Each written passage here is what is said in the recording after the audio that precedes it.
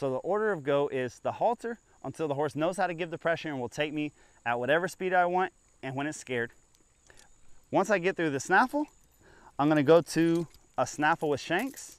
And what I'm doing is I'm preparing the horse almost identical mouthpieces. The only difference is this has a shank. Now, this is just left and right. This is just stopping.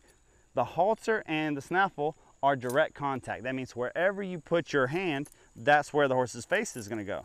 If you pick your hands up, the horse picks his head up. You put your hands down, horse puts his head down. Now, this is what we call a curb bit and just means it has a curb chain on it and it's a snaffle. And what that's gonna do is now, whenever I pick my hands up, it's gonna be pulling that horse's head downward.